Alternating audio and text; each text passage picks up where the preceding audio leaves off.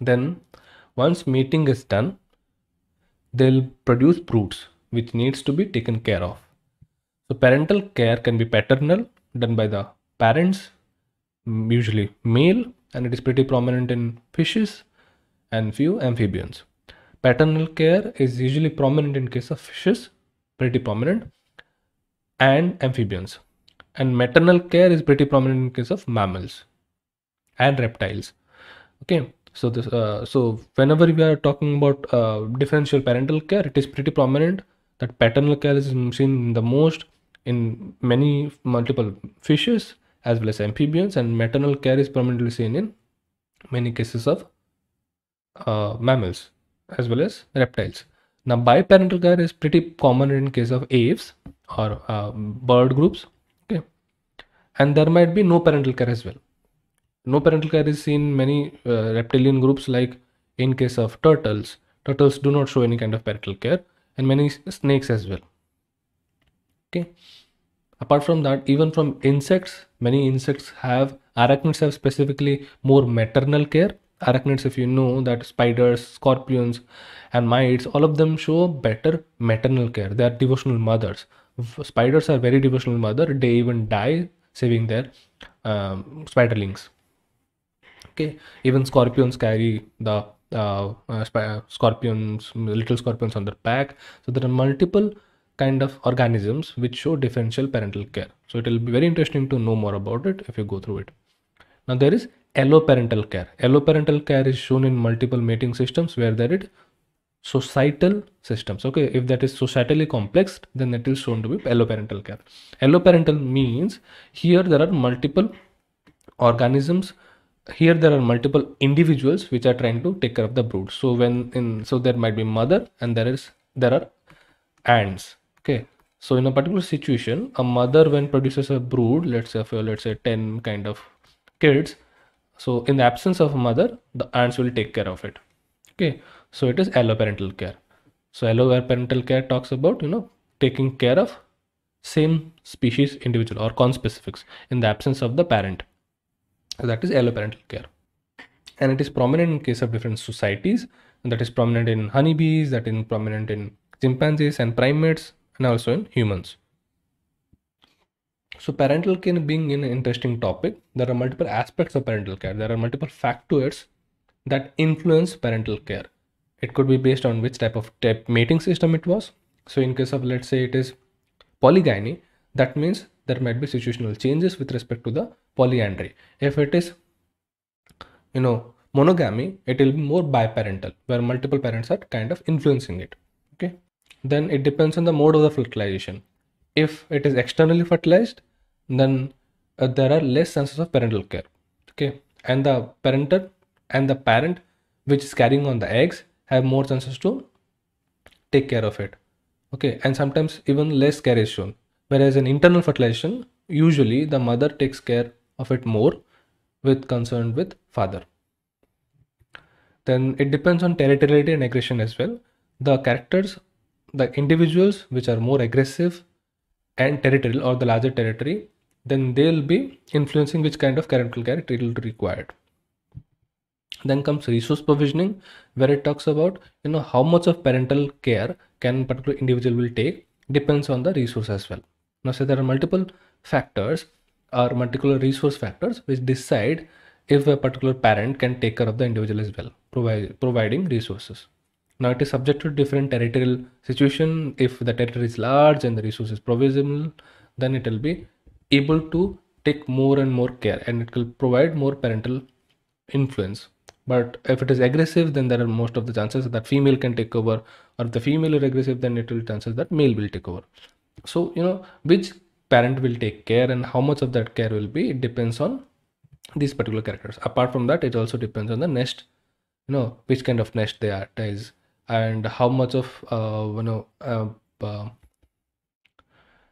and how much of area does that nest provides what is the brood size that can be done in the nest how can be provisioned all of that influences parental choices yeah apart from that there are multiple factors which influence the amount of care that parent can give okay so it depends on the brood size and the optimality it can produce so So a particular female and male or a group of particular parents can only provision a set of individuals. So let's say a particular, let's say sparrow. So sparrow can provision only a breed size of let's say three to four individuals. Okay. If the individuals are let's say six, although the individual number is more, but it's very difficult to you know satiate or uh, provide food for all the six individuals. So it will be very difficult for the parents, for the male and the female to uh, take out insects and to find insects and provide them. Okay, so eventually they cannot be able to take care of all the six and three of them will die. So the brood need to be at optimal size for the parents to provision and the amount of care depends on what is the brood optimality. What is the optimal size of that brood. Then sexual conflict so as we're talking about sperm competition, as we're talking about multiple uh, males competing for it, and we are talking about societal rankings. So there are multiple uh, situations where there conflict is there. So the conflict between male and female or multiple males and all the sexual conflict that is available and arising that will influence how much of amount a particular parent can give it. Okay, if the male is facing more and more competition, so it will be provisioning less. Okay, if the female is getting more and more uh, no, uh, multiple males are trying to woo it or trying to force uh, mate them then there is also the female will be less caring about it. So there are multiple situations and multiple kind of uh, scenarios where if they'll be able to produce influence the amount of care. Then there is group size and resources as we are talking about how much of care can a particular parent give that depends on the group size okay so let's say there are multiple um, individuals in a group. Let's say in a group one there are multiple uh, babblers. Okay let's say there are seven babblers. And the resource that is available in that particular uh, uh, group can be only available to produce two chicks per babbler. So all of them produce two chicks and there are 14 so that is optimal situation for that group. But if uh, one of them produced six one of them produced eight one of them produced three one of them produced one so in these situations it will go above the group resource size and hence they will not be able to take care of all of them. Yeah so they have to eradicate some of them will die. So it depends on the group size as well. Okay so if it's a if a system is group living then it will depend on the group size. Then role allocation to parents. Now which role is allocated to them? Okay is it uh, the female taking care? Is it the male taking care? So which role is allocated to which of the uh, uh, no uh, parent let's say female is usually allocated with the nourishing of that and breeding and incubation of the eggs. Males are usually uh, available to take care of the brood by providing resources or insects where the female can't go out. But in few situations males are you know late to incubate and you know, take care of the egg where female goes out and uh, brings food and there is a role reversal. And that's how the situations depends and uh, uh, says that which particular character or which particular parent will give more care to it. And that also decides that how much of care they will get. Okay. So in the situations where a male is provisioning you know what particular eggs the care is usually up to the point okay when they will hatch out. And after that the male will go off. Okay. So parental care also goes up to the situation where they wean out and they uh, go grow out. Then there is different allocation of brood so many times what happens in when there are multiple uh, broods in particular uh, egg. So one so uh, so there are many situations where there are multiple eggs in a brood. Okay. So few eggs are you know better at uh, you know begging. Few chicks are better at begging. Few chicks produce you know redder beaks and redder underparts to show that they want more food and they are fed better. Okay. So there is different allocation of food in the brood as well so it also depends that which brood which egg is getting more. So they'll uh, you know produce more and more kind of nutrition benefits and hence they'll grow out. But those which are not getting that much of food will die off or will produce weak individuals. So it also depends that how allocation is being provisioned to that particular individuals. So all of these characters are important and influence parental care and the amount of care that parent can give. Okay then when we talk about a particular brood when it you know uh, gets hatched or born what kind of action is that? Okay so what kind of birth is it going through? It could be oviparous it could be viviparous it could be ovoviviparous. Now we know about the examples. Oviparous usually talks about the organisms which are being produced from eggs okay? And it is direct childbirth or direct birth. And these kind of situations where a particular individual lays eggs inside the womb okay. And then the uh, eggs hatch in the womb and then the individuals or the particular generations get birth out of the canal or let's say uterus. Okay. So in this situation of oviviparous the eggs are produced and they grow out and hatch inside the womb and the individuals get birth and come out as moving individuals and it also depends of different type of yolk content so usually in oviparous that is you know organisms which produce egg that could be alecithal. Alecithal is all the egg content which is very minimal minimal egg, egg yolk content and then there is telolecithal.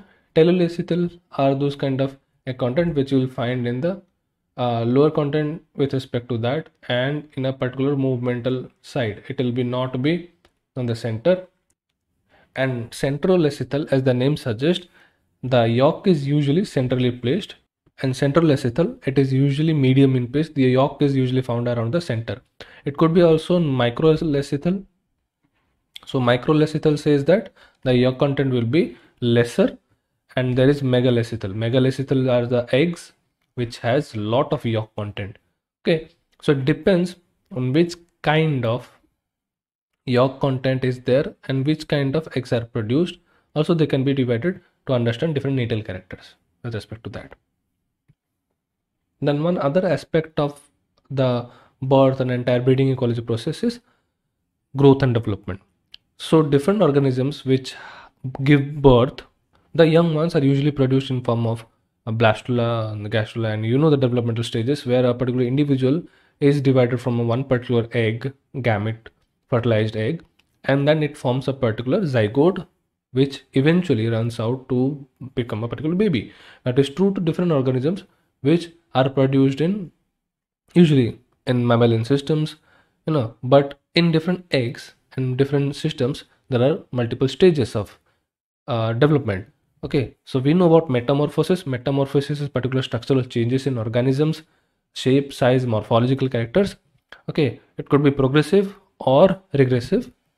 Okay progressive usually talks about a positive movement where they are moving towards complexity. Okay? Positive metamorphosis talks about metamorphosis change of form where it is positive positive in the sense they are moving towards complexity. Yeah so that is progressive which could be ametabolous. Metamorphosis can be amorpholous where it contains no larval stage okay. Hemimetabolous which have a partial larval stage which are also called as nymphs okay. Here you will find won't find larva but the eggs will hatch into nymphs which will be a non-reproductive structures of the adults. Okay. It will look like the adult but they'll lack any kind of reproductive structure. So that is pretty prominent in crickets in case of cockroaches.